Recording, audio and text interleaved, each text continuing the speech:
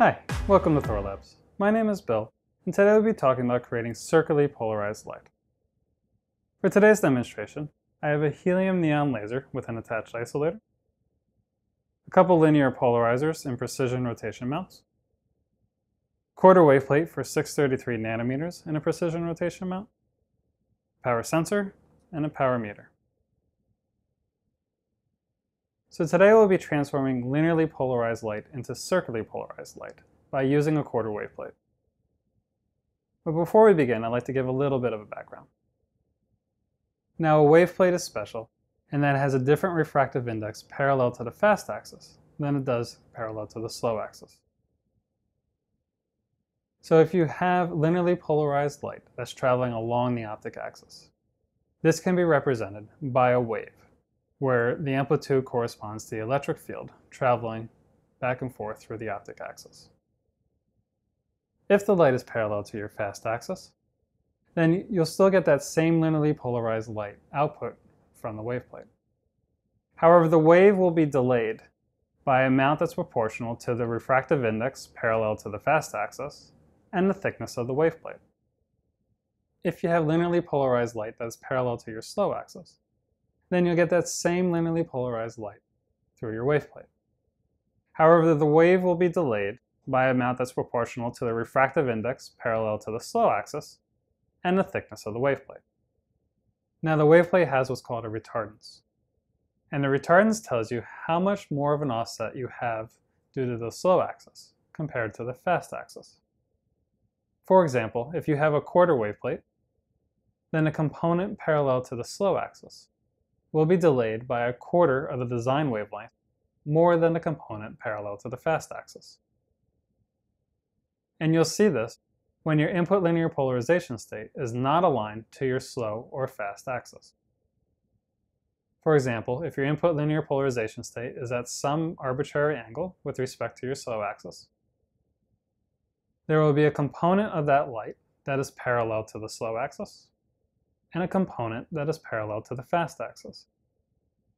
When the light travels through the quarter wave plate, then the component that's parallel to the slow axis will be delayed by a quarter of the design wavelength more than the component that's parallel to the fast axis.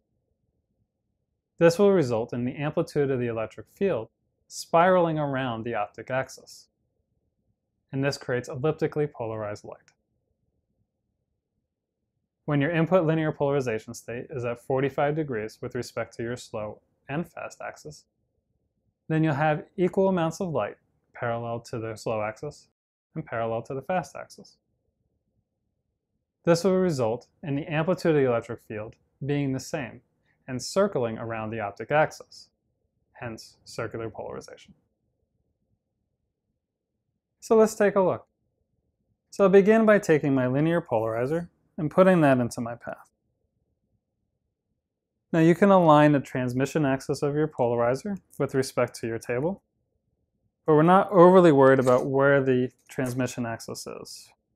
So we're just going to put it down arbitrarily.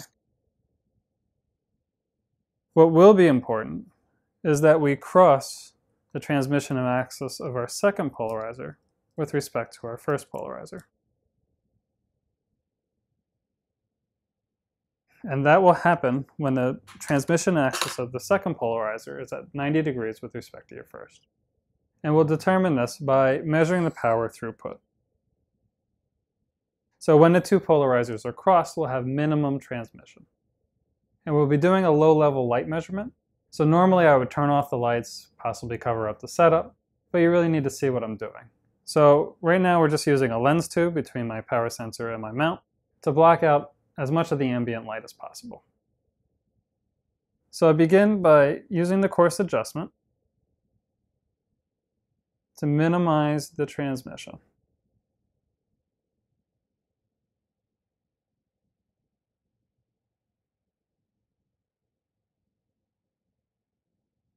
And when I'm close, I'll lock down the coarse adjustment and use the mic to find the minimum.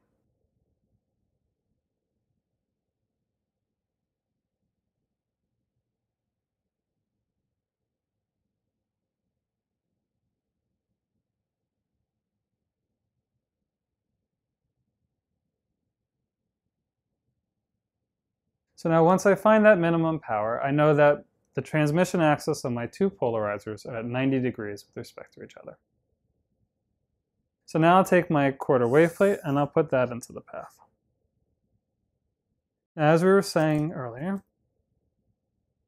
if our linear polarization is aligned to one of the axes of our wave plate, then we'll get that same linear polarization in the output. So in that case, I should be able to align the axis of our wave plate to provide that same linear polarization state, which is crossed with the output polarizer.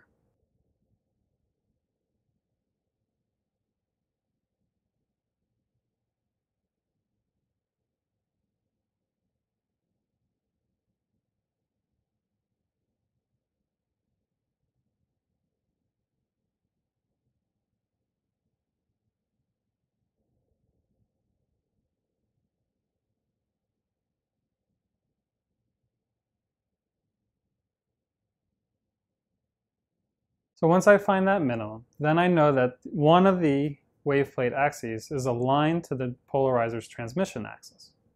I don't necessarily know which one, but I know it's one of them. So I'll look at the angle on my rotation mount, and I'll rotate the waveplate by 90 degrees. So this should help me find the location of the other axis. So as I rotate, you'll see that the power throughput will increase and then decrease.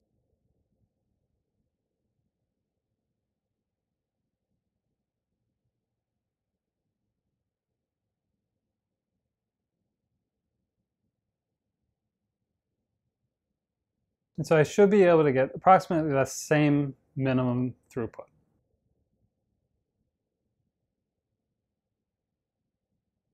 Now that throughput might be less than the throughput of the two polarizers alone. And that's because you may have some reflections from your quarter wave plate. That's dropping the amount of power. So now that I look at the angle on the rotation mount, I have two points of reference for the two axes of my wave plate. But we don't want to create linear polarization, right? We want to create circular. And we know that in order to create circular polarization, the slow axis will have to be at 45 degrees with respect to your input polarization state. So I rotate my mount 45 degrees with respect to one of my references. Alternatively, you could just look for maximum power.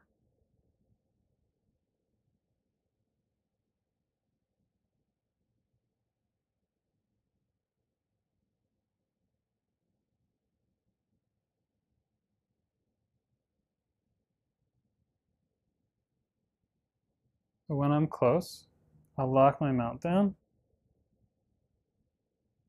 and I'll rotate until I see a maximum.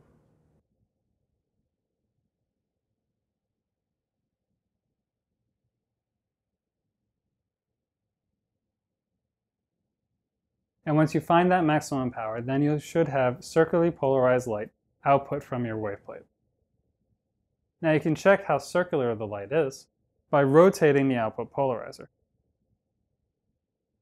So if the amplitude of the electric field really remains the same, then the output through the polarizer should be the same, regardless of the angle. Now in practice, the power through the second polarizer will probably not be exactly the same as you rotate it. And this could be due to any number of reasons. There could be non-uniformity in your linear polarizer. The wavelength of your light source might be off of the design wavelength of your quarter wave plate. Or the wave plate might not be exactly at 45 degrees with respect to your input linear polarization state. But as long as the light is close enough to circular polarization for your application, then you should be good to go. I hope this helps you out in your application someday. And if you have any questions, feel free to contact TechSupport.